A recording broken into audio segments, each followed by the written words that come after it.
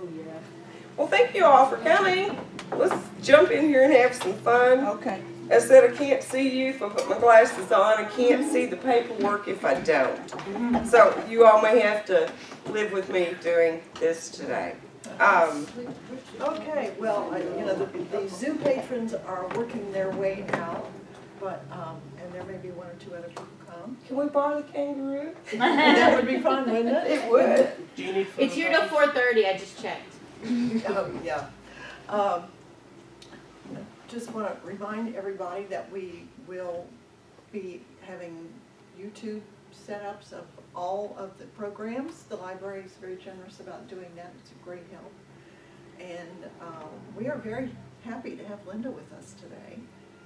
Very happy to be here. Um, I, I think you, you've talked a little bit about yourself while we were waiting for people to gather. Uh, but as you can see, she's a prolific writer and has, uh, had an unusual career in both traditional and indie publishing. And we're all hoping to gain some insights and hear about your life as a writer. I'd love to. I was telling them earlier, I'm normally a very interactive speaker. I'd rather talk with you than at you. So please don't hesitate to ask questions as I go. You don't have to wait until I get finished to, to because if you're like me, I mean, I'm getting old. I forget my question after five minutes. So, um, as I said, I have an agenda. I'll try and follow it. I think you all can hear me. I have a big voice. I don't think you're going to have any trouble. Um, Writer's Circle. I decided we would start where my life really began. I'm going to take these off now because I don't need them. You can see what I'm doing. Um, I started writing probably in the early 80s on a serious level, wanting to be a writer. I got divorced. Won't go into that, but my business partner at the time bought me a week-long writers conference, and it was in Louisville with Green River Writers. I walked into there, much like I walk into any book fest now, feeling like I'm at a family reunion with family members I like. Because that doesn't happen at all family reunions. But you put a group of writers together, and I think it does. I think we all have that inner, whatever it is, that passion for words. And, and that's really where writing begins. You have to have a passion for words. I love words. And I think uh, in my very first book, which was traditionally published, I'll even read that. Tony, could you hand me the gifts? I think it's on the back. Um, no matter how much he drank, Gavin McAllister couldn't get the headline out of his head. Just words. He was a writer, made his living with words. The impact of the words directly correlated to the emotions of the reader. Words could be twisted, knives to open up wounds long hidden, maneuvered to evoke buried nightmares. Bare the soul, expose the wound, and you had a bestseller. Make them laugh, make them cry. Above all, make them feel something. He was an expert at manipulating words for emotion. You can't write if you're not passionate about words and about their impact on the person you're using them on. If I can give you any advice today as a writer, I'm going to say, read. Uh, you have to read. See how things make you feel and the impact the author has on you. I've never given a one-star review. The reason I've never given a one-star review is if the book is that bad, I didn't finish it. If I didn't finish it, then I have no right to critique that author's work. Who knows? Midway, it may have gotten to be fantastic. Um, I'll share what something someone told me about my first book. It was one of the attorneys. I'm also with the judicial system, which is why I started writing legal thrillers. But he said, you know, after the first 50 pages, you couldn't put it down. And I'm like, well, what happens if you don't get through the first 50 pages? So we'll talk a little bit about opening lines and paragraphs here very shortly and how important those are to convey what you're trying to pull your reader into. But getting back to uh, Green River Writers here, they did this once a year. It was a week long conference held on uh, the Shelby campus in Louisville. I didn't know anybody there. I walked in there, and as I said, felt like I'd walked home. You got your own little dorm room. They were college dorm rooms, and it was horrible. And you had to pour uh, Clorox into the radiators. It was early spring and cold, so that you didn't get that pneumonia that was so bad because they were old buildings. Yes. And so they, at the end of that week, brought in publishers and agents for you to pitch yourself to. I made some of the most wonderful friends of my life there. And I went for the next five years before I actually got up the nerve to pitch myself. And I, at that point, had finished my book. And that is the other advice I will give you. If you're going to pitch yourself to a publisher, have that book either totally outlined or finished. You send them the first three chapters and they say, we'd like to see the rest of it. Well, I haven't written the rest of it yet, mm-hmm. so, you know, I'll finish it. And if you try to finish it real quick, you're gonna rush it, mm-hmm. it's gonna show. So don't even think about submitting until you've got it either completely outlined or completely written. You're opening yourself up for them to take the rest of your manuscript and say, we're not interested. I've never had that happen, but it. Um, anyway, after five years of being there and having a blast and uh, really getting to know some wonderful people, they also brought in a lot of authors who would teach the classes. Um, Michael Seidman, who was at that time the editor for uh, James Patterson, was there every year. Michael was just, I don't think he's there anymore, but he was just, a, and he's got a book out too.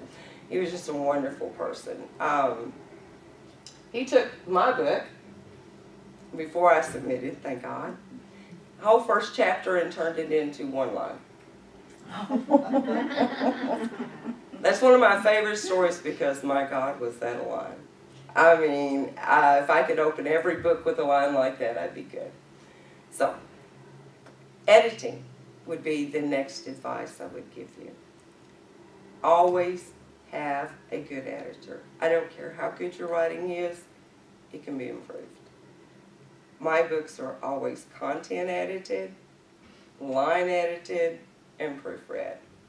What was You- the last one? Proofread. Content edited, line edited, and proofread. And I will tell you why. I know my story, I know my characters, and when I'm putting it down on paper, I may not always realize that you don't know what happened last week in my character's head.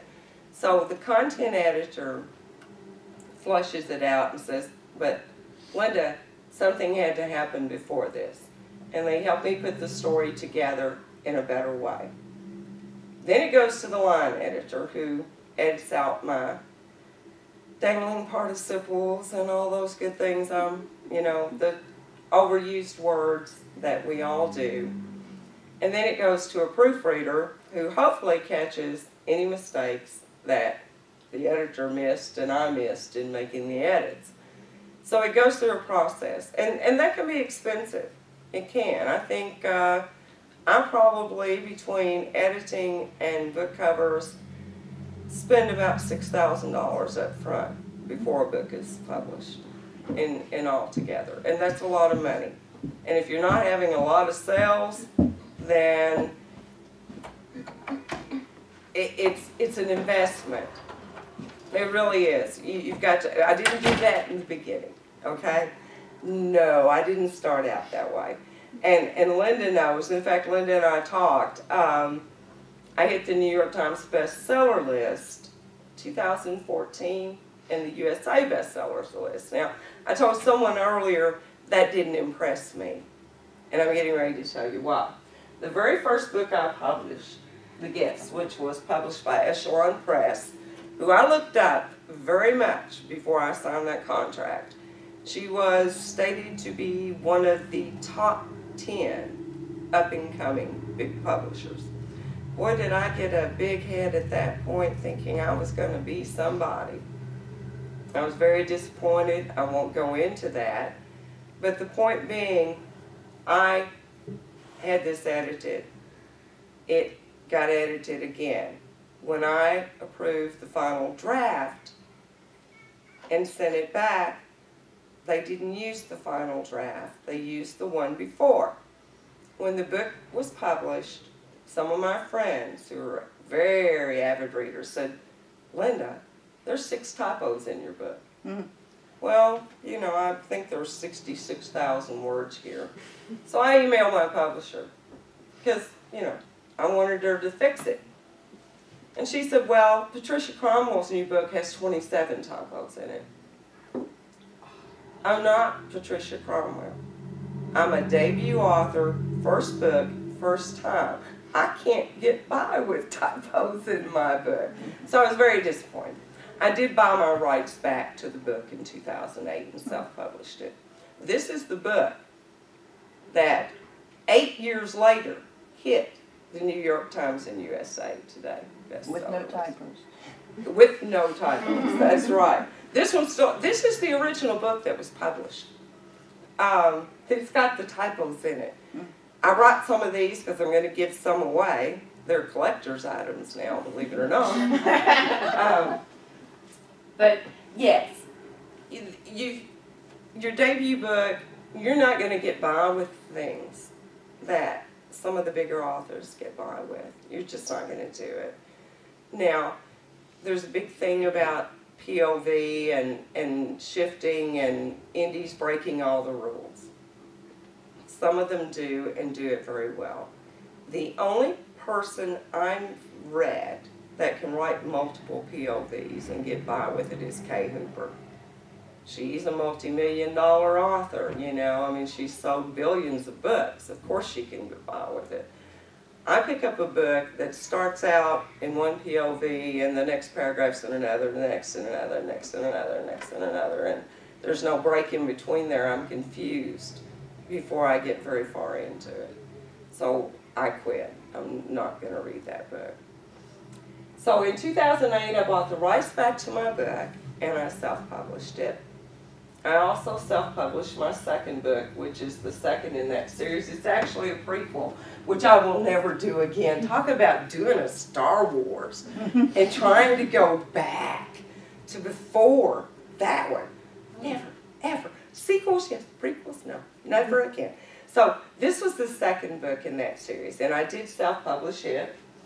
Um, after that, I came out with, and some of the advice Michael Seidman gave me was to write what you know, what you're passionate about. Well, I studied metaphysics. I studied the art of healing. I became a certified hypnotherapist. I worked with people with cancer with hypnotherapy. Um, I wanted to combine my love of mystery with my love of metaphysics. And then I became a paranormal investigator. So I wanted to combine the three of those. So I did the, the Find Me series, which has Bet You Can't Find Me, there's a rogue psychic, and Eternal Beauty, which is, there it's an FBI series of psychic FBI agents. They all have some abnormal, but they're very normal. Also, you most cases are solved by good police work, not psychics, and that comes through in my writing. I, after that, wrote the legal thrillers because I am very passionate about justice. Um, having worked in the criminal system and with the Department of Justice for the last 17 years. I have been in the courtrooms many, many times and saw what I called a miscarriage of justice. So I'm very passionate about that. And I wanted to create a character who didn't care what she had to do to get it. And that's basically what I did. And and I have I, I never sell a book without a warning. My warning my books are adult books. They have strong language. Um, they have uh, some graphic scenes. Last year I joined with a British author, uh, Mel Comley. Mel's also a New York Times and USA Today best-selling author, and we started the Deception series together. Uh, and everybody wondered how that was going to work. How could a British author and an American author write a book? Well, all I can say is you'd have to read it to know. We we meshed very well. We both have twisted minds. It did not. It wasn't a far leap for us to get those characters going. So that's. Um, I had written The Forgotten. This is my most recent book. When uh, a publisher contacted me, because Mel had also published through her, and through Mel she contacted me about would I be interested in publishing. And I said, not really. um, I'm a control freak. I, I really am.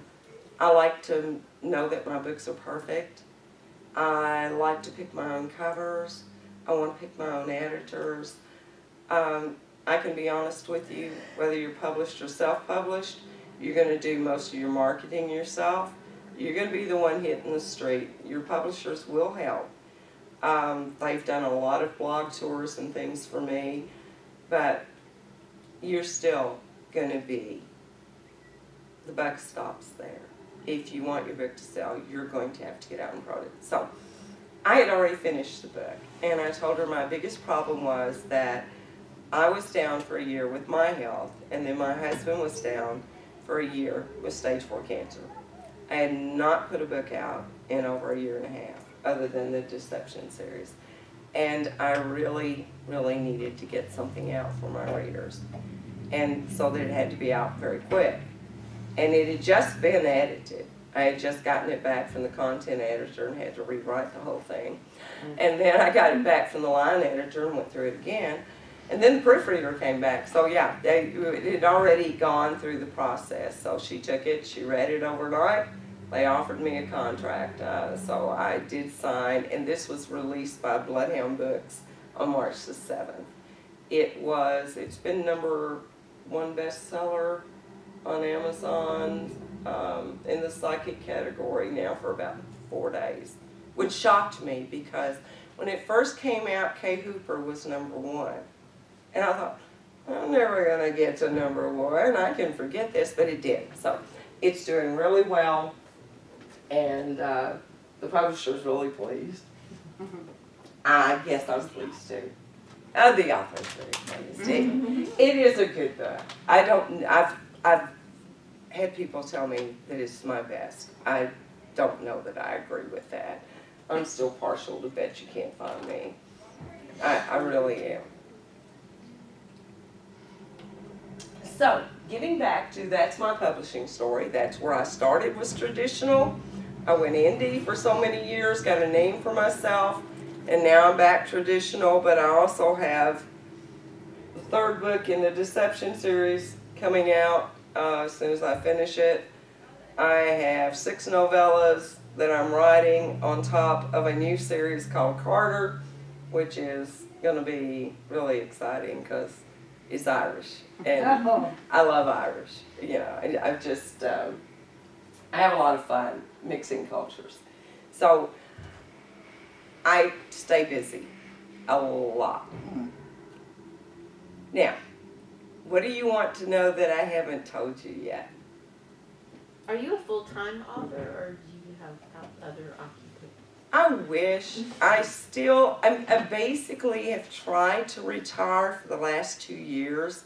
I only work when my partner requires um, an extra hand. If she's double booked or triple booked, I go to work. Or if it's for a judge or an attorney that is as old as I am and we've come up through this together and they really want me, I'll go. I still do some work for the Richmond Police Department. Um, I've done some work with them on murder cases and I still help out.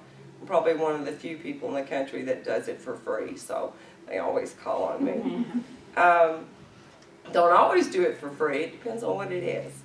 So, you know, I, I try though. I try to get up every morning and write. And sometimes I make that, but I'm also raising our nine year old grandson. So I now have a new family starting over after raising my family. And he's a lot of work. Mm-hmm. He came to us needing a lot of work. And there's an amazing difference in him now. And he's secure and he's happy and he's what I call a healthy nine year old little boy. So it's been worth it, but it's taking a, it, it was also taking a toll on my health. And then when Kobe got cancer, it really pulled the whole family down, I think, because I'm trying to take care of the child, take care of him, and, you know, it, it got to be kind of too much. But sometimes those emotions, life, life is good if you're a writer. Because that pain, that fear, comes out in your writing. If you can take the words to describe what you're feeling and, and put them down on paper. I love humorists. Someone who can write words on a sheet of paper and make me laugh out loud has my total admiration. I, I just, I could just applaud them because I can't do that. I might write a sentence. In fact, there may be one in the Forgotten about the old lady and the, the guinea pig. That um, I spoiled the book for you, Beck. she has been kidnapped by a serial killer who is basically nuts, as is his mother, and she's an old country doctor who believes in saving lives, so she never cusses, she never does anything.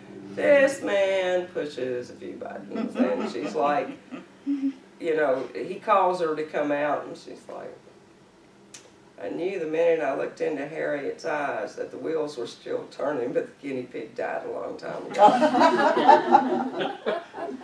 and she thought, and you know, with Robert, he takes this split personality to a whole new level. Um, there's the lights on and somebody's home, but you just never know who's going to answer that door.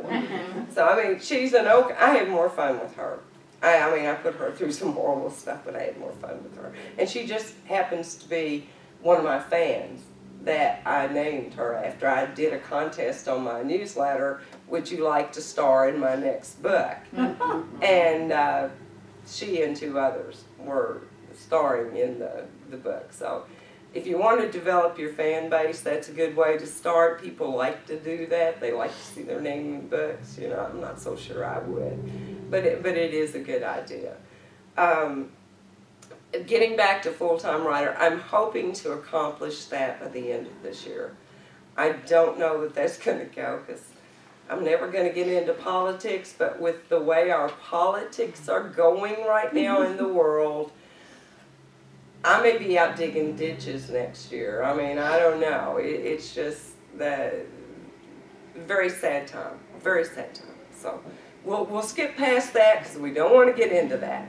But um, I'm hoping to be a full-time writer next year. I would love to get up every morning and just sit down at my computer and play with my characters, which I, I'm assuming most of you do write. Do you have a favorite character that talks to you all the time, that wants you to write them. They're just like nagging you all the time, get me down on paper. And you just want to reach in there sometimes. I can't. I've got to do this. Leave me alone. I always say that the characters take over my stories. And once they take over, I'm done. I mean, it's finished. I'm surprised at the ending of my novels sometimes. I never know what they're going to do. I think I've got my outline written and I know exactly where I'm going. And all of a sudden, they bring in somebody from outside that I didn't know who they were and put them in there and they've killed somebody or something. And I'm just like, I had no clue you guys were going to do this. Any other questions about my life and my travels? Well, I, you sort of answered uh, something that I was wondering about is, you know, what's next? And so you kind of hinted, you've got another deception book? We have another deception book. We're writing Final Deception at the moment. I didn't want to do a Red John. If anybody ever watched The Mentalist, um, it was a TV show where he was after Red John for what, 10 series? and you got a little tired of it after a while. So we have a killer. He has to be taken care of. Now, whether he's going to die or be locked up, I don't know yet. But I, I'm going to put it, I didn't want to do a Red John. I wanted to actually get rid of him at some point. Which is, you know, something that if you're really getting into this, you'll have to decide if you're going to write a series or a standalone. And if you write a series, where are you going to end it? Um, you have to be willing to kill a character sometimes. I couldn't do that in my first book. Um, there was a character in there that was destined to die, and I just couldn't kill him. I fell in love with him, and I just could not kill him. So I had to rewrite the entire book again, which I do a lot. I rewrite a lot. So, um, but yeah, you, you will find that your characters, once they pick up, your your job's pretty much done. They'll carry it the rest of the way for you. Any more questions? Yeah, did you, um, start your first book thinking it was a series? No. In fact, I didn't write any of these thinking they would be a series. Um, most of the books that I've written have come from fans' request. When I wrote Bet You Can't Find Me, people loved it, wanted more. So I wrote Eternal Beauty. And same with the legal series. Um, that's actually going to be a trilogy. There's one more book if I can ever get back to it and get past these others. Um, the Forgotten is a spin-off from the Jenna James legal theory. There is a Choctaw Indian in here. In fact, there's two. Um, girl. She's a private investigator and she's pretty crude. But she believes in the old ways. She has combined New Age and the Choctaw beliefs, and you know she likes fires and chases wolves. But um, people loved her, and they wanted more of her. Well, there really wasn't a huge place for her in the legal thriller, so I created a new series for her. So that's where she came from, and that's how the new series got started on that one, and it was fun. You, you never know. I mean, if your characters are telling you, and if your readers are telling you, I get a lot of fan mail at times, and that's fine. You know, people don't always review books unless they don't like them. If you go online, you'll find people are more apt to review a book they didn't like than they are when they did like. But I get fan mail, and whether they review my book or not, I love that. You know, they'll tell me who they liked and who they hated, and I occasionally will ask them, would you like your own short story? Choose your character from the books and tell me who you want to play with. And I'll write short stories for my fans. Um, I wrote one for recently for a guy, and you know, I, I did win the Kentucky Monthly ninth annual fiction contest, and I, I'll tell you a little bit about that. I've seen that contest every year. It's the ninth annual. I never submitted because I was terrified. This is Kentucky. This is my home state. I'm scared to death that they'll say, oh, you were no good. You know, I might have a best-selling book. I might have several. But this is Kentucky, you know. we take our authors and our uh, basketball seriously down here, and our football too. So I was terrified. But this year something said, oh, go on. What are you going to do? You're going to spend the rest of your life wondering if they're going to pitch it out or you're going to do it. So I had written what I call, and you got to remember we're in the Bible Belt, which when people ask me why I don't go out and, and really try to push sales of my books. It's because we're in the Bible Belt. Um, my very first appearance in the book show after the gifts, I was picketed by a church who thought I believed in devil worship because that's what one of the reviews said. And so the librarians were furious. This was Mount Sterling, and they would probably love to tell you the story. But they were furious and were going to go out. And, and I said, no, let me go out. So I went out and talked to the lady who had organized it, and she said, what do you believe in? I said, I believe in God. And I said, Jesus is my Savior. She said, but you write. I said, yes, but you haven't read. Because if you read my mysteries, if you really delve into them, every one of them has a thread of good and evil. There are Bible quotes mixed in with all that bad language.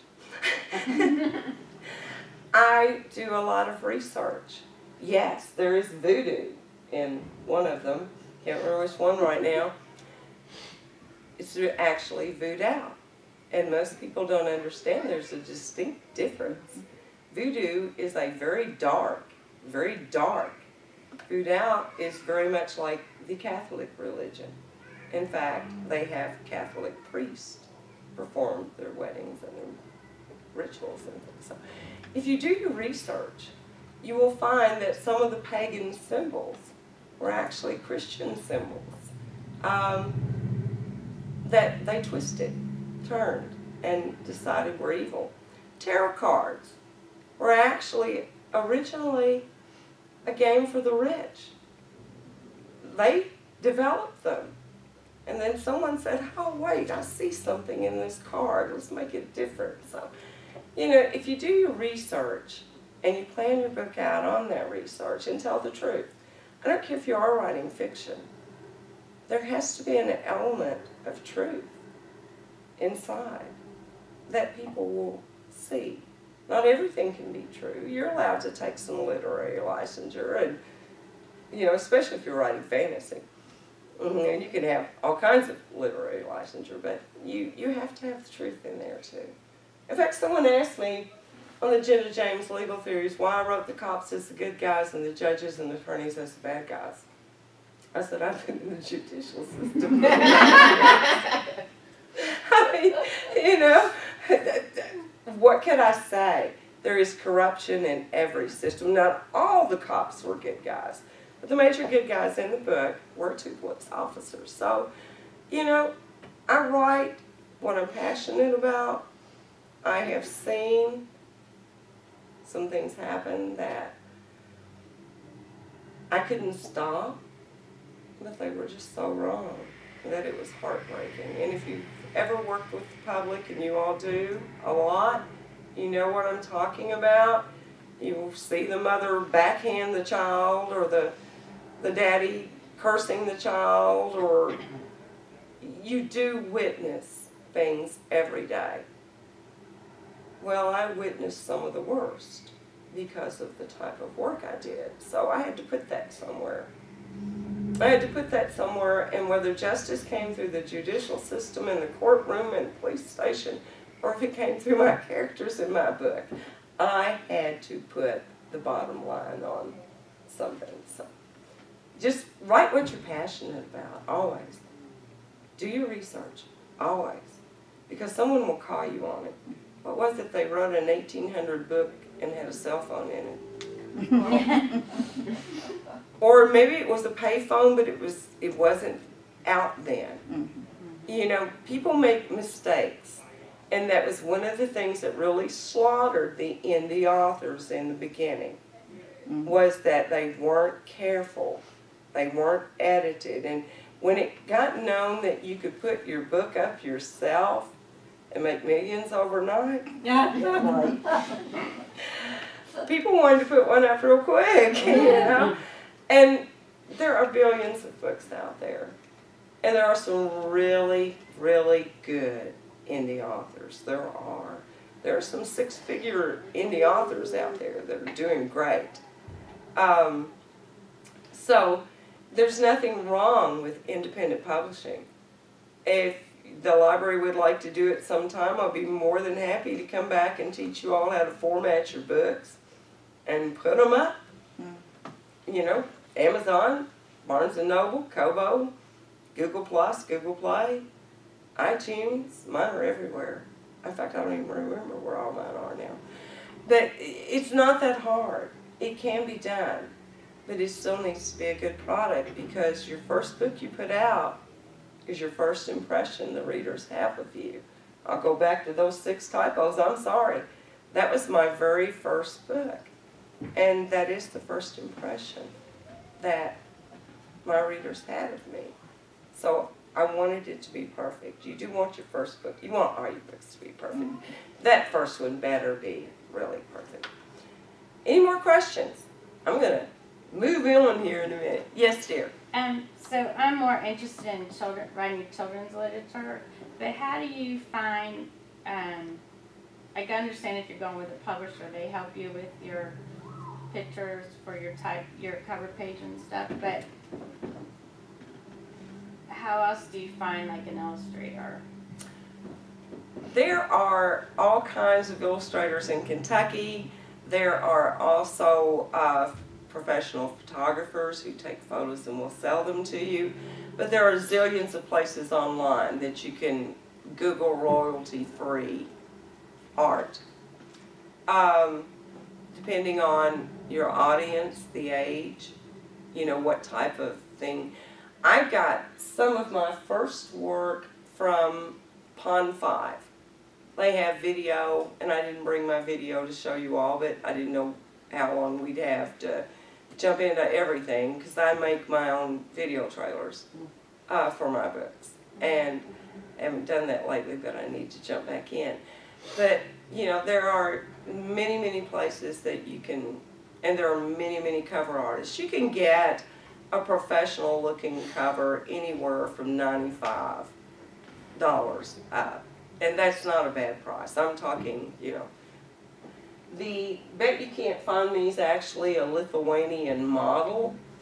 And I took me six months when I found that picture to track down the artist and buy the rights to use the, the cover. It was what I really, really wanted. I wanted her picture. And I would not stop looking until I found out the artist and arranged to license. What I didn't arrange was to use that on future because I didn't know it was going to be a series. So when I went back to ask if I could use a portion of that um, on the no, the answer was no. Mm-hmm. So too many people had stolen it. She's in Lithuania. People in America felt free just to download it offline and use it. It's on several books. I didn't do that. I would never do that. These people are artists too. You know, they may buy my work. I'm going to buy their work. I'm going to support them. So, you know, I've seen people. What's there's another one. Anybody know who the other photo people are online? You can get Photoshop maybe. Um, I've seen Photobucket? Photo Buckets one. Um, I've actually seen covers on Amazon site that didn't take the cover, the watermark off. They didn't buy the picture. They just once again downloaded it, not realizing they couldn't get rid of that watermark. And I'm just like, once again, you're stealing someone else's work. Book pirating is a subject we could talk about for hours. Um, have you written your book yet? You're getting there. Yeah. What's your age process on it? Young Uh, adult or No, younger? I'm kind of trying to decide between like a real early picture book or a little bit older. and doing like a short series.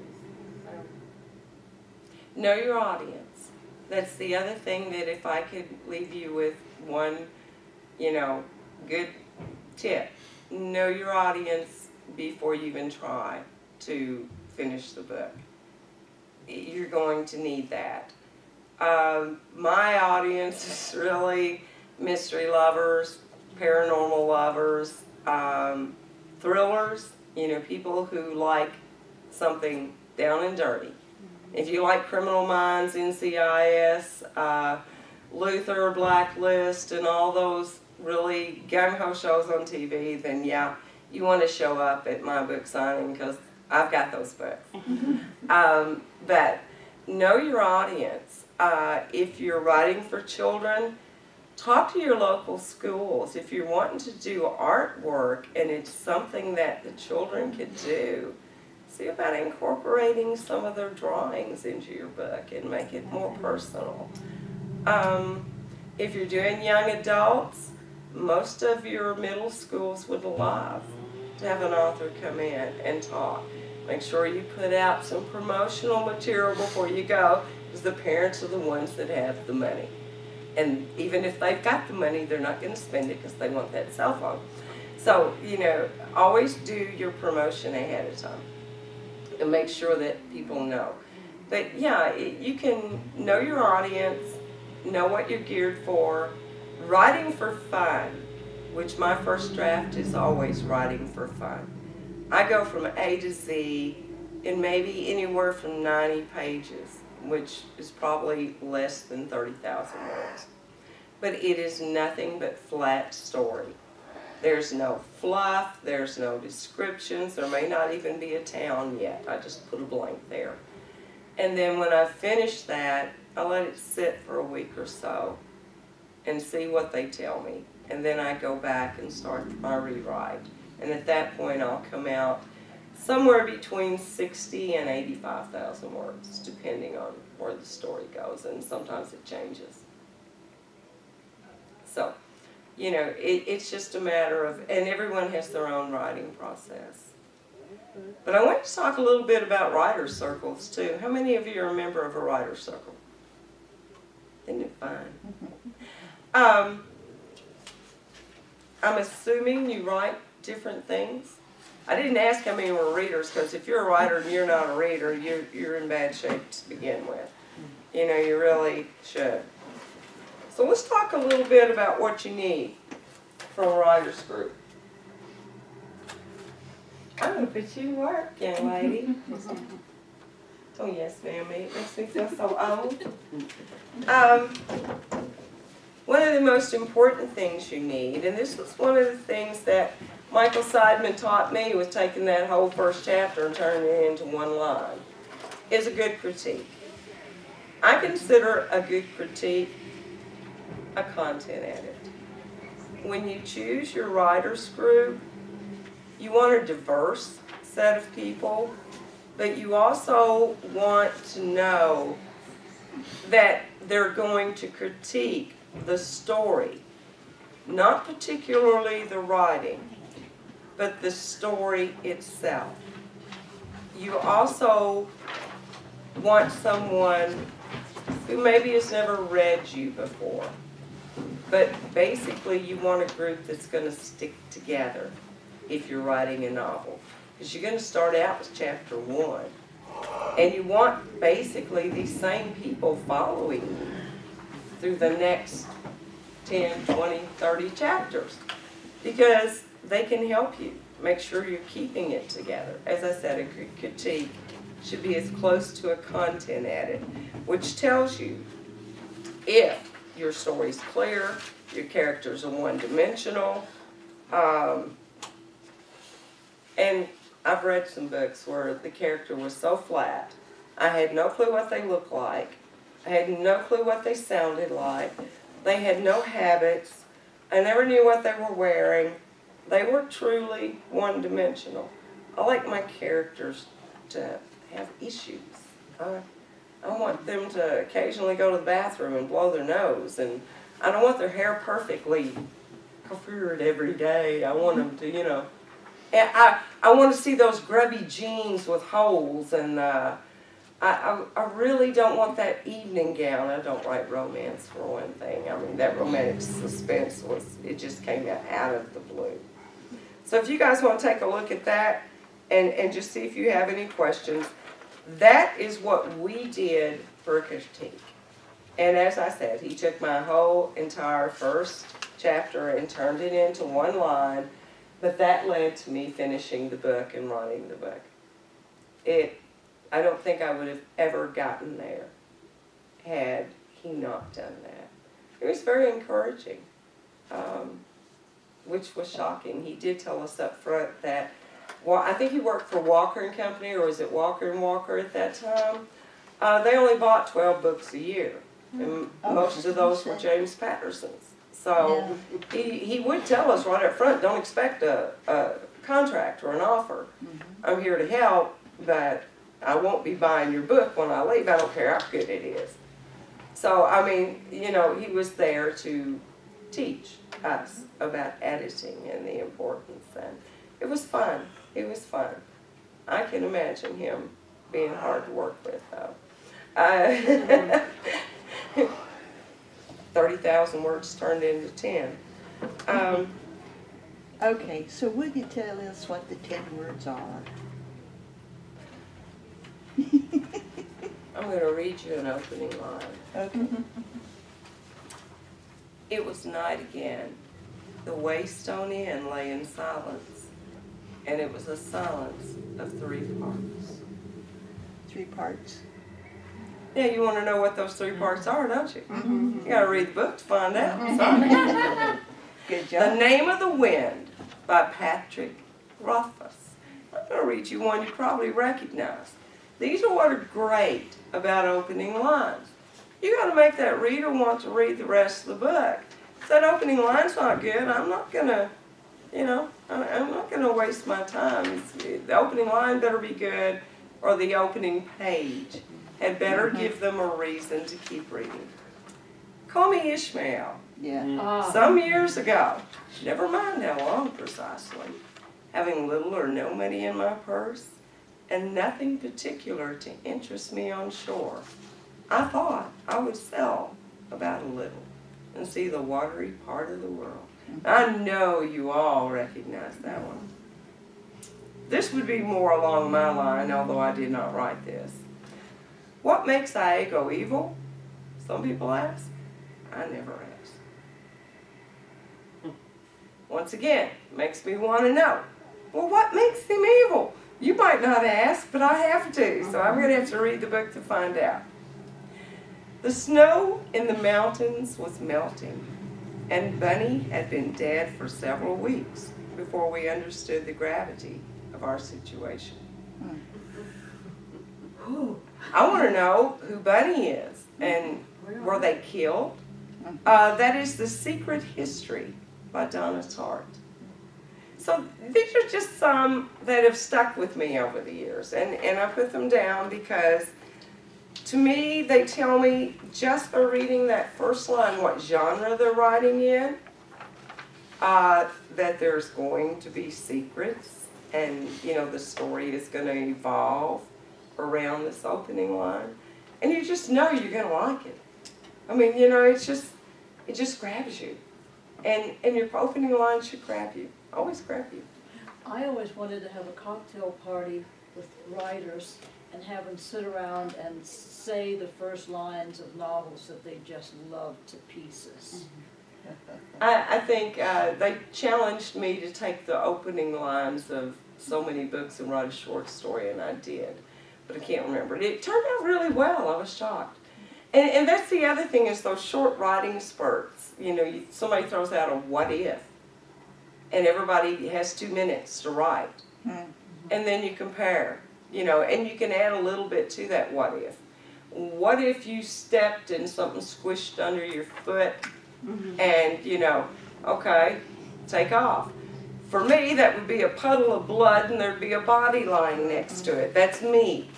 Um, for a mother, that could be uh, rubber ducky there, you know, I mean, it could be anything. So there's always that, you know, everyone's different. And it's one of the reasons people used to say, don't share your writing.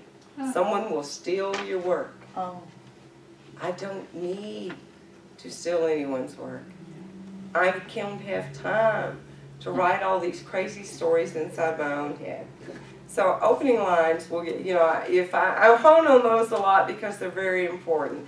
I don't care if it's a children's book, if it's a romance, if it's fantasy, that opening line has to grab you in some way to make you want to move. And I didn't learn that overnight. I'm sure I wrote a lot of crap. Hi. Uh, let's see what's happening here. Join us. So, what time is it? Oh, I've got it. 3:49. Wow, and I was gonna take a break three minutes ago. And I didn't. I was gonna give everybody a bathroom break, you know, you gotta do it. I was gonna draw a door prize. And if anyone has to leave, I'll draw all four. I, I'm serious, just let me know, wave as you go, so I know I didn't tick you off and you left, you know, in good humor, you didn't just rush out. But, um, How late were you planning on going? You, I mean, you all booked me till five, but I'm, you know, Oh, uh, we said that was kind of a max and it's flexible. It, I'm flexible, as long as you've got questions, I'll try and answer them. I am one of those speakers who will not make up answers. If you ask me something I do not know, I'm gonna tell you right now, I'm gonna write that question down and find out the answer for the next group, but I'm not gonna be able to give you one. So, that's just how I operate, I don't lie, and I'm not gonna make up an answer to make you think I'm that smart. I'm not. But, any question on critiquing your writers group, uh, where you're going? How much are those books you got? Well, we're gonna talk about that in a few minutes, okay, when we take a break, if that's all right. Yeah. Um, questions, anyone? Well, you, you said your first conference was a gift, but somewhere before that, the gift giver knew you were a writer or you'd expressed interest, so I'm, I'm just wondering, what did you really write before you ever went to that conference? I don't really remember. Do any of you remember Martha Cratcher? Martha was a court reporter in Madison County, older lady, lived here forever, well known, probably not as much in Berea. She was my partner, my business partner. And I had gone through this horrendous divorce, and at first they took me to see that Robert Redford movie where he flies across the sea, you know, he's a reporter and he's in love, and they were trying to cheer me up, and uh, you know, you know, we all came out of there bawling. So she decided maybe she'd try something else. I think I had probably written just some short stories and shared them with her, maybe as a friend, which we could spend a lot of time talking about platforming, branding, getting set for publishing your first novel. I don't do much of that anymore. My brand's pretty clear. I wish I could go back to 2006 and know what I know now. If you're wanting to build your interest in your work, you've got to give some of it away. Wattpad.com is a great place. Wattpad.com. There are poets and authors. The first little girl on there got a six figure contract. She had six million followers. Her writing was that good. She put it up for free because she knew it wasn't going to be the only thing she ever wrote. So I can't remember her name, but I have some stuff up there too. You get people's interest in your writing. Um, blogging, if you don't blog, you should. If it's nothing but community news, put a poem up occasionally. Put a short story up occasionally. Do something, you know, so that people associate you with a writer, so that you know, and they know, that eventually you're going to come out with that book. If you're seeking a publisher, and seriously, there's just not enough time in the day for me to cover all the things that I could cover for you. There are many that accept unagented submissions. Uh, there are many that don't. Do you need an agent? Well, if you only pay them fifteen percent and you're not willing to market yourself, probably. Um, ten to fifteen, I'm not really sure what the going market is. Um, you don't need that. They can help you though. Do you want to be part of the big six?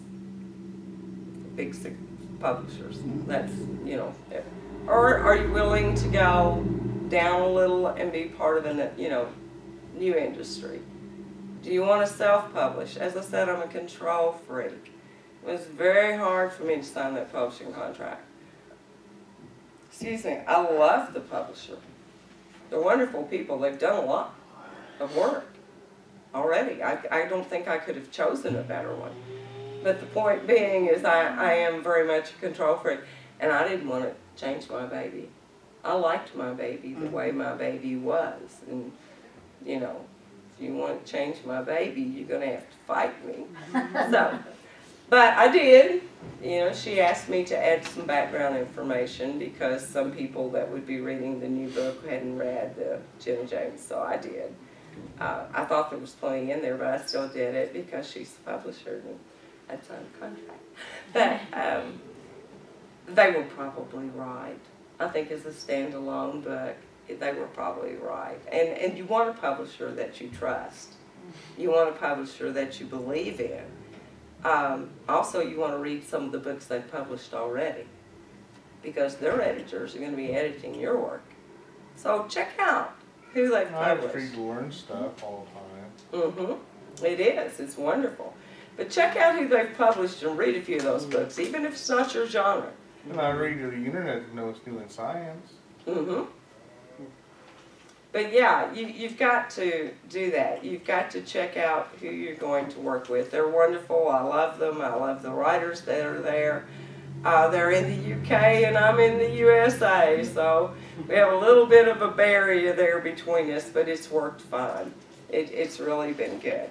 Um, I am going to take a break at four, just for a few minutes, so that we can all go out. But I wanted to read. Any of you read? We have five minutes. I can read in five minutes. Um, any of you all read the story in the Kentucky Monthly? Because I started earlier to say this is the Bible Belt. Know your audience.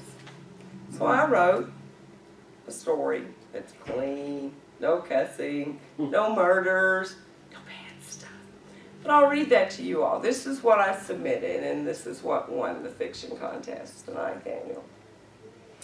Lessons from the Sparrow. I pulled the faded green sweater closer around my thin shoulders and shivered slightly. I suspected Dr. Burgess had turned down the thermostat in hopes the cold would distract me from what he was saying. And I had to admit that it was working. Did I ever tell you the story about the sparrow, Dr. Burgess? He sighed. No, Miss Carroll, you didn't. I smiled at him across the desk as my thoughts wandered back 72 years. Mary Elizabeth. Mother's voice was shrill, and she used both names. Hmm. I was in deep trouble. What'd you do, Mary? Jimmy Lee's eyes widened. Like me, he knew both names meant Mom was really mad. Not just stand you in the corner mad, but go cut me a switch mad.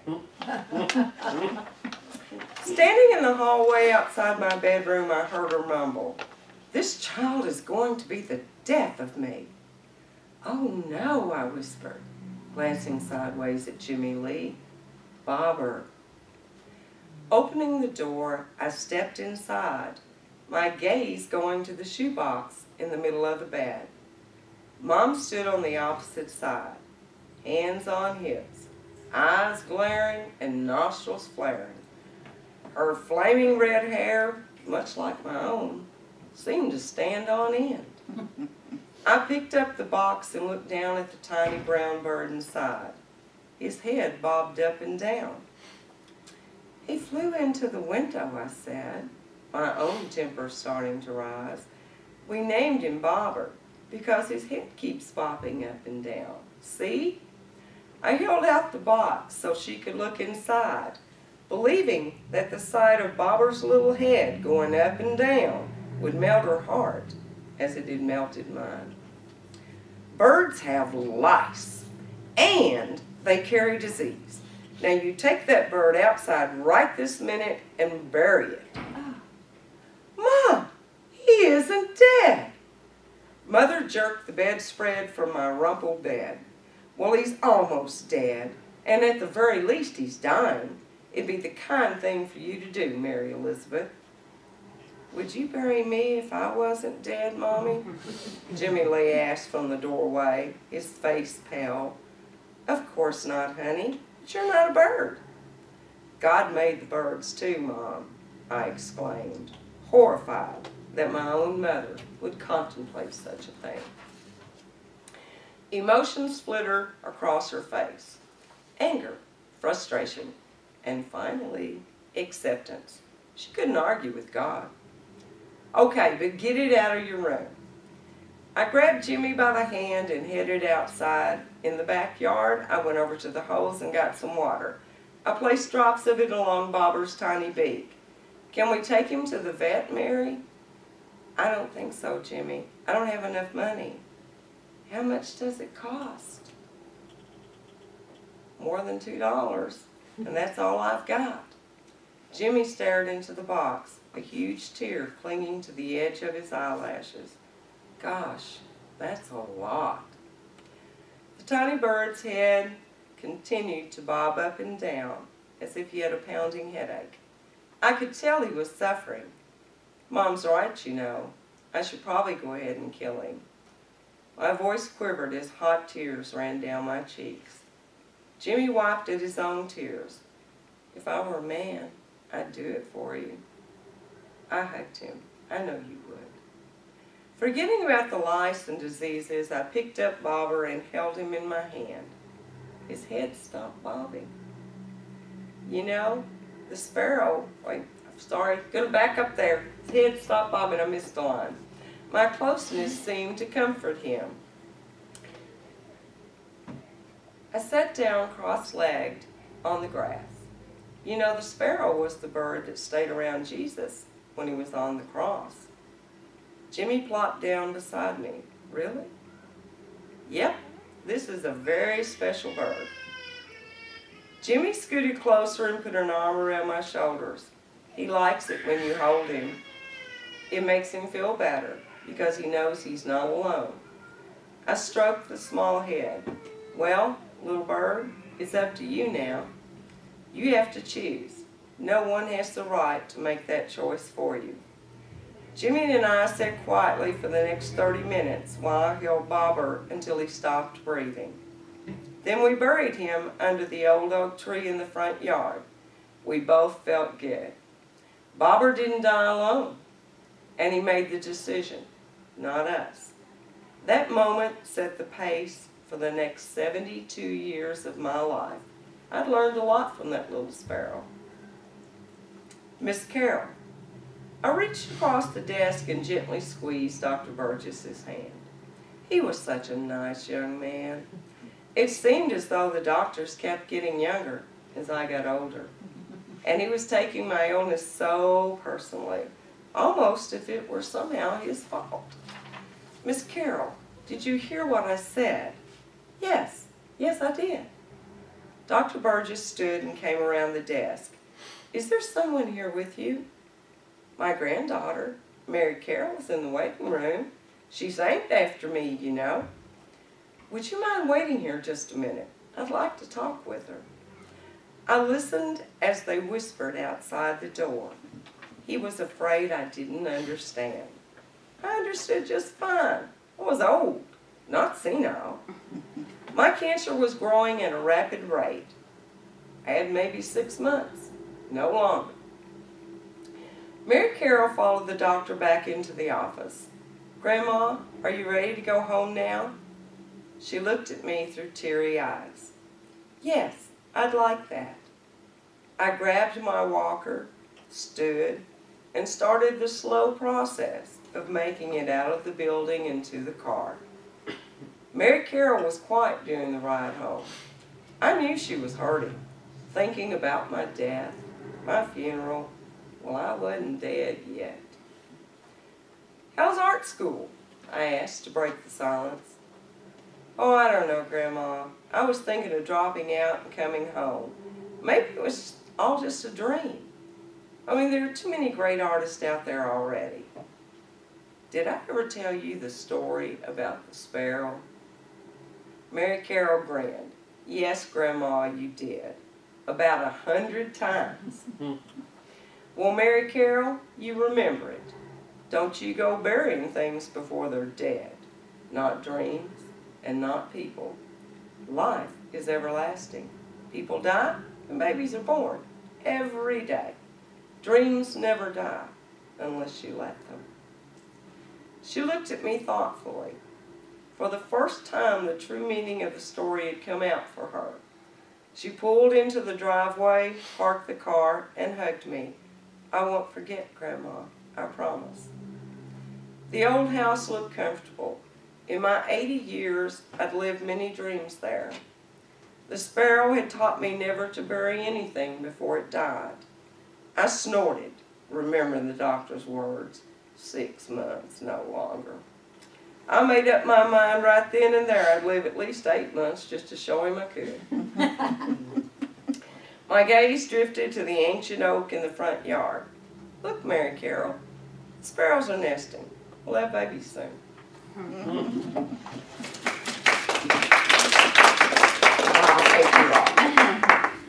we live in the Bible Belt. If you're going to submit to a magazine in Kentucky, write a clean story.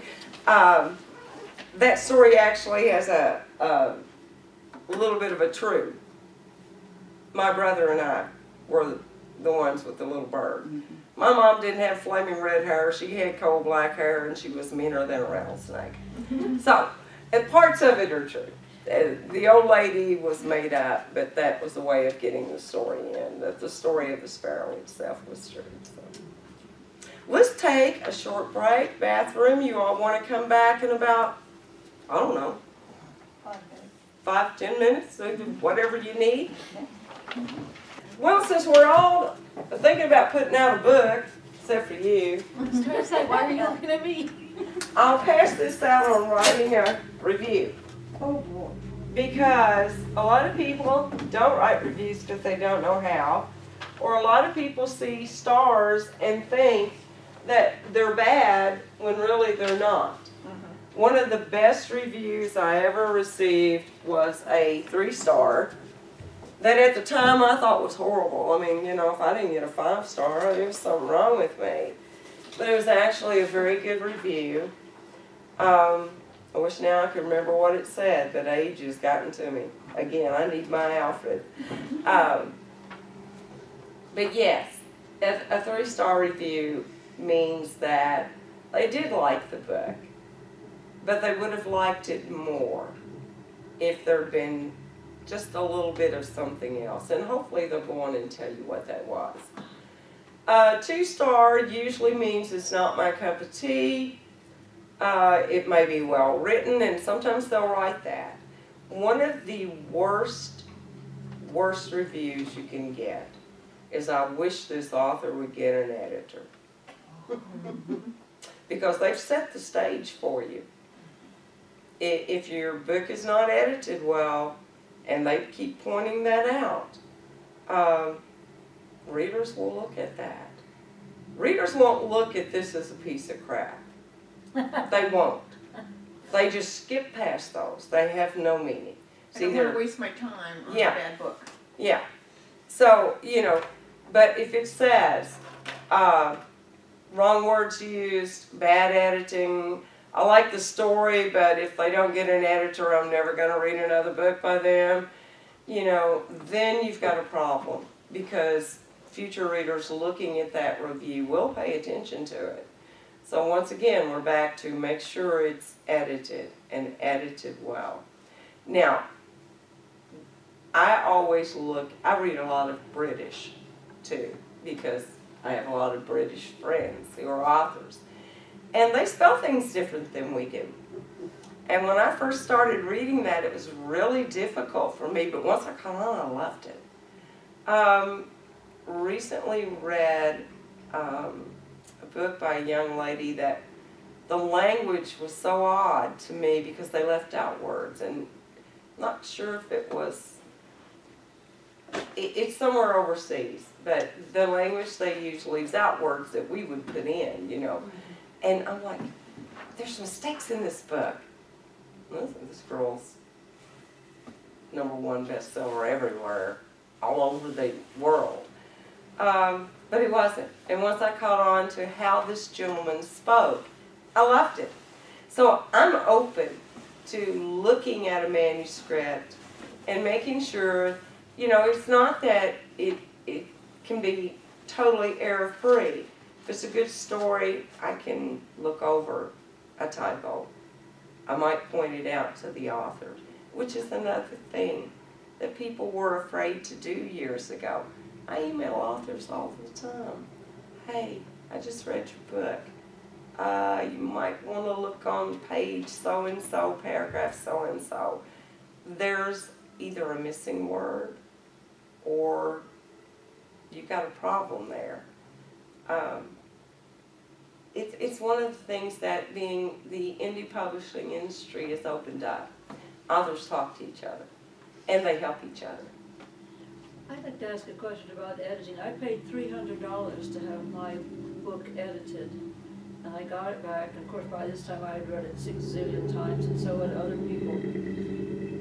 And after paying three hundred dollars to have it professionally edited, I got it back and there were six errors. What do you do, just bite the bullet?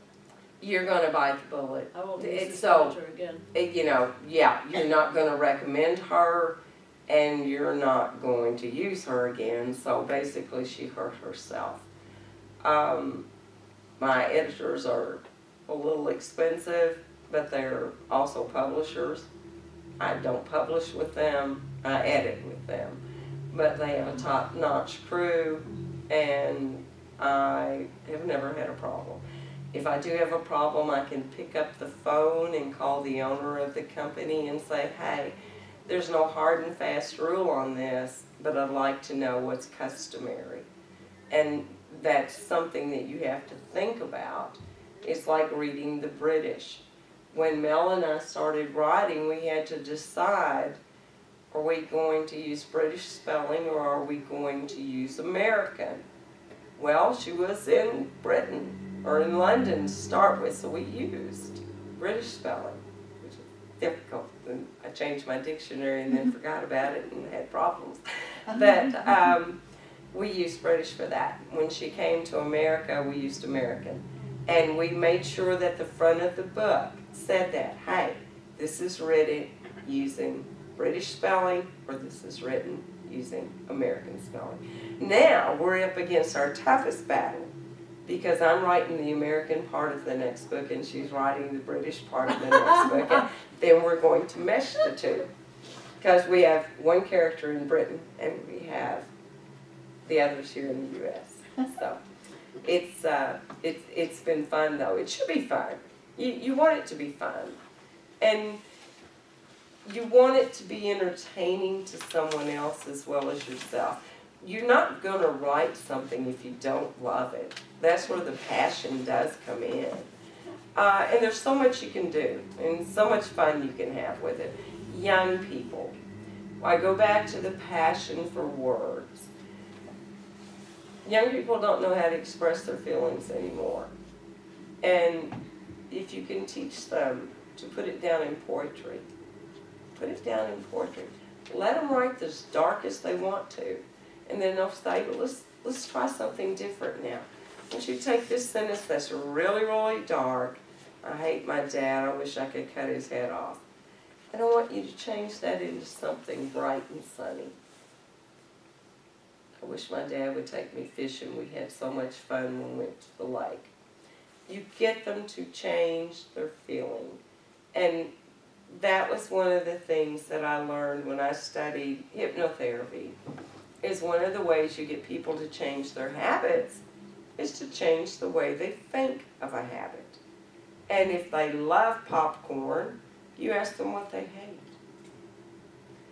One woman hated the smell of feathers, so popcorn started to smell like a wet feathers. Started to smell like wet feathers to her from that point on. She needed to lose 175 pounds. And most of it was popcorn weight. I love popcorn. Uh, it's my downfall. I can do without the candy and the cookies and the ice cream and all that, but I love my breads, my pastas, and my popcorn. My dog's name's Popcorn too, I have a problem there. My grandson named him Bo. I did not name him Popcorn. But yeah, you know, it's it's a matter of changing attitudes, and words can change attitudes. We all love words. We wouldn't be writers if we didn't. We wouldn't be readers if we didn't love words. Semantics can be fun. Uh, I like to go through all my writing and see, hmm, if I change this word to something else, wonder what that would be.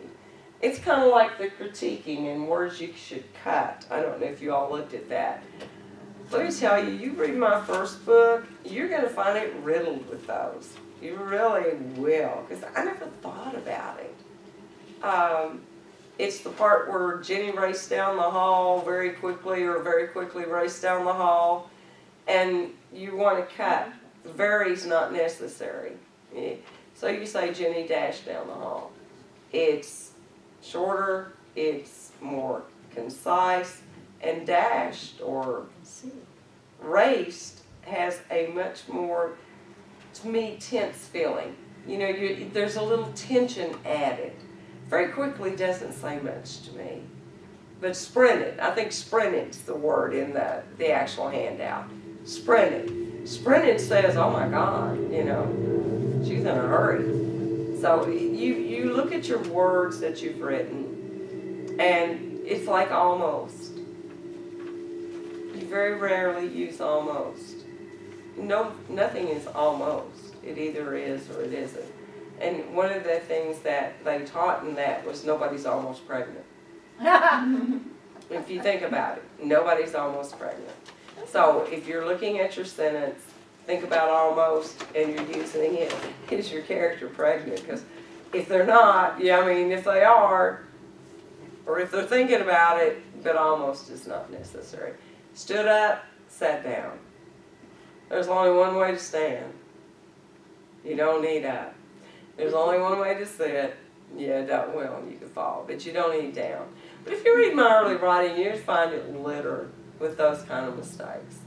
And I learned all this over years. I mean, it's been fun. It's been a fantastic journey to get to where I am today. And I have to thank my ex-husband. Please cut this out of the video. Well, one, one, and I don't know where I first found this, but if you're using an adverb, you're probably not using the right verb. So, fits right into what you were saying. And, and you know, it's, it's a process, and it was in the critiquing paper. If you're going to critique someone, be honest with them. You- And I mean, you're critiquing the story, Yeah. not the person, not the writing. You're critiquing the story. Um, I have taken highlighters and the same phrase been on the page four or five times. And I'm like, oh my God, that's gotta go, gotta go, gotta go. So you replace it with another phrase. In fact, it's when I stopped reading Patricia Cornwell. I really liked her books. Uh, I started reading one that had a wet dog. It was nine million times she said the dog was wet on one page. I flipped the page over and we went into the dog shaking that water out of its hair and it, the smell of the wet dog and the wet dog and the wet dog and the wet dog. And I said, I'm going to read one more page and if there's a wet dog on it, this book's going. And sure enough, the next page was the same and I tossed it. I just, you will bore your readers to death. If it, think of it in that line, if it bothers you, it's going to bother somebody else. Mm-hmm. It really is. And it's one of those things that I deal with. Bad language bothers some people. It's very rare that you're going to hear a cop say sugar beads. It, it's not going to happen. I write people who are in serial killers don't come say, "Ah, sweetie, come with me." No, they walk up and cut your throat. So I mean, you know, you've got to put your characters in character too. Um, I tried to write a cozy mystery. I really did. Even my romantic suspense has a bad guy in it, and it gets kind of. I'm like, no, back up, back up. but it's very difficult for me not to have a murder and a, a bad person in my books, and those people talk the way I hear people talk on the streets. Maybe not even as bad as what I hear people talk on the street. Um, they have quirks. I think I had one reader slay me about Rosetta's cookies. If she heard chocolate chip cookies one more time, she'd die. But that was Robet- Rosetta's quirk. I mean, that was her part of her personality were the chocolate chip cookies. Um, they all have issues. They're not perfect. Um, they're real. And if I say um one more time, I'm going to choke myself. Ah, that make your characters real. Make your stories interesting. If you don't like it, there's a good chance nobody else will. But I can't emphasize this enough. Write it. Write it. I don't care if John Doe across the street says, Well, what do you think you're doing? You can't write. If you want to write, write it. Someone out there can help you fix it, make it better, and someone out there will enjoy it. That's why I talked about Wattpad. I put a lot of free short stories up on my blog. I write Christian short stories. I write humor. I got my little guy with the cigarettes that gets killed. His mother always told him he goes out on Nicholasville Road in the middle of the night over in Winchester area there, uh, Winchester's Eastland area, and a guy comes in and robs the store that he's buying his cigarettes at. So he's dead, and it's really his ghost talking, and he watches the paramedics come in and go over the body, and he watches this kind of heavyset paramedic pick up his pack of Kentucky Reds, pull one out, smoke it, and he can almost taste it. He really wanted that cigarette. And then he flips it, and he's like, but it's, le- it's got some left, so he's trying to grab it. He wants it, you know. And so, you know, his mother had always told him, you know, that smoking was going to kill him. Well, it did, because he went out at 3 in the morning to get a pack of cigarettes. So, all right, humor. You know, anything on my blog. If I'm not selling it, I don't worry too much about it being politically correct. I just have fun with it. I wrote Food to Die Smiling For. And now that is actually up there, but and they're asking 99 cents for it, and I begged Amazon to put it free. I didn't want to sell that. It's a short story. I like selling short stories, but um, that one's humorous too. It's about a game show where they have to prepare the meal for someone who's going to be executed. And if they get a thumbs up from the guy who's being executed, then they get to be the major chef and get their own restaurant. They get a thumbs down, they're forever, you know. So she gets picked. Her friend turns her name in and she gets picked. And she goes in to prepare this guy's breakfast, lunch, and dinner. She has to prepare three meals. So that's done over a couple of days. But turns out he killed her sister. And he picked her because he wanted her to be there. Intending to give her the thumbs down, but I won't tell you the rest of it. But it's her roommate that's funny. It's the, the go-between, back and forth between the girls and the, the laughter and the fun they have. And try to make your conversation real, like us talking. You know, ti sometimes we forget that it's real. People say gonna. They don't say going to. Now, if you're writing strictly to a literary group, you're going to want to say going to. But if you're writing a murder mystery with a bad cop, you're going to say gonna. That's just, you're talking. Those are allowed only in dialogue.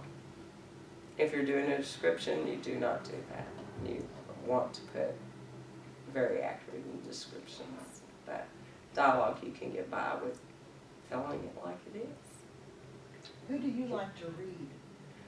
Oh, I read so many. Let's see. Kay Hooper, Dean Koontz. Um, Odd Thomas just blew me away. The first three I didn't like. The next one. Um, right off the bat, I read a lot of Mel Comley. I read. Uh, I recently read Netta Newbound. I liked her. She's an independent author. Um, she's also a Bloodhounds author. I mean, I've, I'm now reading all the other Bloodhorn Bloodhound authors, so I'm going to be reading a lot of books coming up. But they mostly write the same thing I do. They do publish, you know, thrillers and crime, so they mostly write the same thing. But I'll get back and say, write it. One of the things I learned from going to my writer's circle for five years, and I loved every year of it, and they hadn't torn down the Shelby campus and the governor wanted to put something else there, I'd still probably be going. One of the things that really amazed me is there were a lot of people who came every year with the same story. They had written it to death. They never moved on. Write it. You don't have to publish it.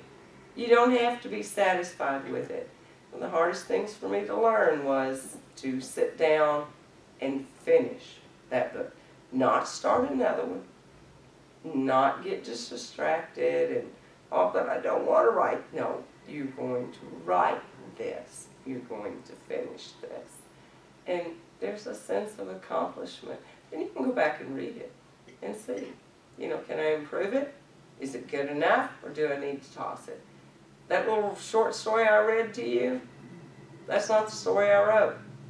That story's been content edited and edited and rewritten. Because I know that no matter how good I am, it's my story, it's just worded different. I know I know how good I am. There's someone out there that can help me be better. And I want to take advantage of that because I want to give my readers the very best. Yes, dear. Can you talk some about, um, you talked a little bit about doing a short story for Amazon, and earlier you had talked about, um, Blog publishing with Amazon. Um, can you talk a little about that? Because I've, I've wondered about that for a long time, and uh, I don't know how that works. Well, it's very easy. You write your book. You, I format my own. Of course, the publisher formats them now, but I mean, if I'm an independent, I format my own. Um, you can get them printed through Create Space. To publish through Create Space, they charge you for your proof copy, and that's it. Everything else is free. You know, the, except for buying the books. But on Amazon, you put up what's called a Mobi doc. And you upload it to their site. Your book will go live usually in 24 hours, 48 at the most. And you start to sell. If you have an audience. Who controls the, the pricing? You do as an independent. Uh, your publisher does as a publisher. Now, Amazon has two programs. They have the program that you can publish yourself out there and sell your books through Kindle, Barnes Noble, through Nook. Uh, Sony used to have a platform, but they're no longer there. Uh, Google Play, Google Smashwords, uh, D2D. I mean, there's places all over the world that you can sell through. Um, they also have what they call their Kindle Select, and that's where you are exclusive to Amazon. You're not allowed to sell your work anywhere else. I don't particularly care for Kindle Select because they can control more than they control your price. You set your price. But if they find out you lowered it and gave it to somebody else, you're in trouble because you violated your contract. That explains why I saw my book on Amazon used books. My book cost four ninety-five. They had books at set, set as used books for forty-nine dollars and ninety-five cents. I found one of mine for three hundred and seventy-six, and I just died laughing. You didn't get any money, did you? I wouldn't gonna get anything out of it, no. No, I, I, well, I just chalked it up to experience, but I couldn't figure out how, how that happened. Now you've explained it to me. But I mean, you know, it's not hard to self-publish. It isn't. The hard part is selling. It really is marketing. And that's a whole different area that would take us an all-day workshop probably to get into. But the point being is that get known before you publish.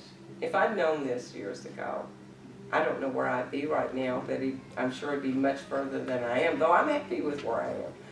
But the point being, I didn't know that I needed to do it. And when internet publishing started, I sold books like this right here. Coming out and meeting people and talking to people and shaking hands and autographing books. Well, all of a sudden there's these ebooks where you don't meet people. and You don't sign the books and you don't know anything. I'm like, how do I sell this? You know, what do I tell someone to make them want to buy my book? That's where the blogging, the Twitter, the Facebooking, the social media whole thing comes in.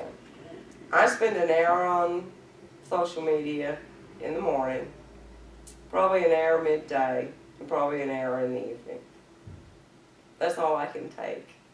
You know, sometimes I'll flip it on, but there's just too much drama most of the time for me. But as an author, I put in my time promoting myself. I have to do that, or else nobody knows I'm here. I have a newsletter um, that goes out whenever I have a new release. I do not send it every two weeks or once a month like some authors do. If I don't have something to say, I see no reason to bug people with an email. So when I have a new release coming out, I'll send an email. I run contests. You saw I gave away door prizes here today. I run contests and give them to my fans. I give away gifts. The old thing is you had to have money to make money. Well, sometimes you have to give some freebies to get your name known. Let's say I give you all a free book. Uh, and you like it. So you loan it to your neighbor. They like it. They loan it to a neighbor. Well, you've got one book of mine. There's two, four, six, eight, ten, eleven more up here. So ten of those people go buy the other ten. I've made money. You know, you, you think of long term. It's like I said, you're gonna have to think of it as long term. It's just like the stock market. They say if you buy stock today, you can't jump out tomorrow. You have to think of the long term effect. Pretty much book selling is the same way. You're gonna have good days, you're gonna have bad days. You're gonna have good times, have fun. I have fun. I, I really do. I came here today to have fun, and I've had a ball. Meeting you all, talking to you, got me out of the house and away from the kids, got me away from the old man. I've had a really good time. I got to see a kangaroo go down the hall. I mean, you know, seriously, people, what could be better uh, than, than to do this? But have fun, and the audience will follow. Write good work, do good, and, and it will. Coordinate with other authors. Authors are your best friend. I would be glad to read anything any of you all have written and give you an opinion. I will do a content edit for you. All you have to do is bring it, let me know, and I'll pick it up. And I'll be more than happy to do for you what Michael Seidman did for me. Just don't be angry if you only come out with two sentences out of a chapter. I probably would not do that, but um, I love authors. I, lo- I love working with people. I missed that the last two years I was down. I miss my, I miss my metaphysical teaching. You know, I used to teach dream analysis, and we did uh, touch healing, and you know, we've done meditation classes. I did those around Lexington at all the libraries. I miss those things. I miss getting out and meeting people, and that's where internet selling really. I'm not that great. I'm I do good at it, but I really would prefer staying here talk to you than sitting on the computer for three hours saying buy my book, which I never do. I thought about it once. It's what all these little posts are about. I thought, well, I just put buy my book. But questions? Been very good, thank you. I've enjoyed it. I've had a really good time. I am gonna have to come by the writer's circle, though and We'd love to have. let you all read to me.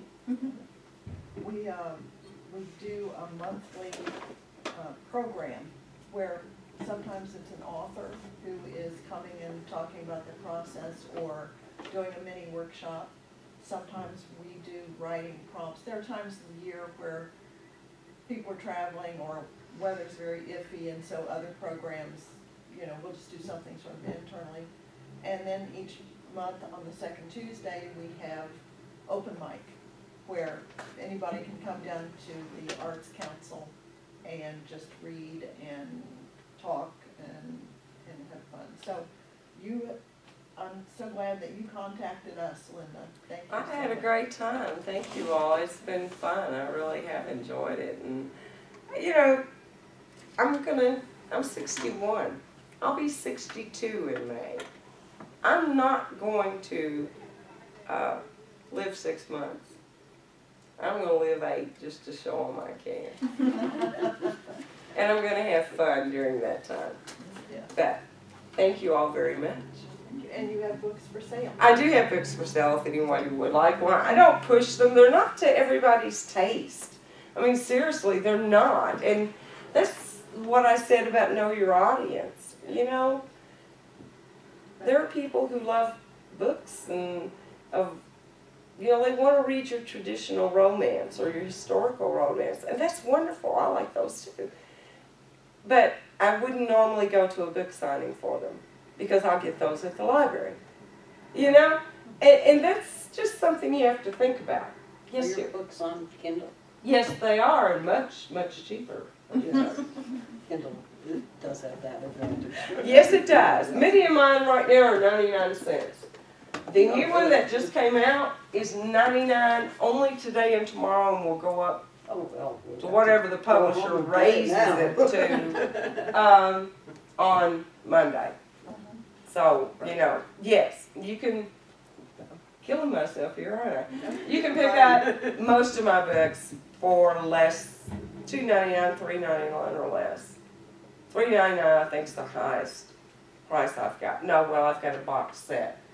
I've got three of the uh, first books in a series as a box set, and I think it's five ninety nine. But that's three books. That's not one. So. She's laughing again. Thank you. Thank you.